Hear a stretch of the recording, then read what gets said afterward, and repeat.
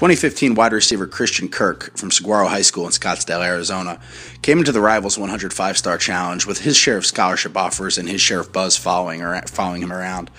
I think he was really kind of seen as a top regional recruit in the Southwest before this weekend.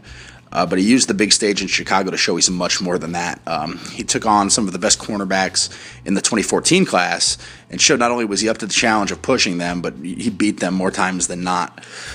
Christian Kirk is a big, stocky wide receiver. Um, maybe not as tall as you'd like, but he definitely has has the thick build and the muscle to, to you know avoid getting jammed at the line of scrimmage.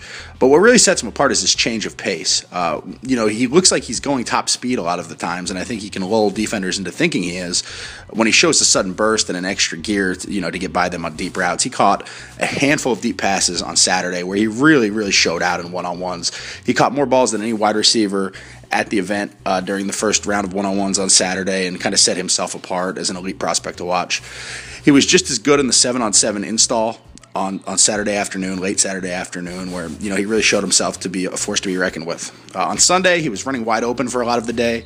Maybe didn't catch as many passes as he did on the first day, but you know a lot of the times it's because his quarterback did not find him. He's extremely smooth in and out of his cuts, and you know that showed that sudden burst of, of momentum again that you know he showcased on Saturday. That was back on Sunday. Uh, his his recruitment will be interesting to watch going forward. As you know, he hasn't even gotten started. He's got two years of high school football left. He already holds a bunch of major scholarship offers, and this is going to be a very contested recruitment uh, down the line.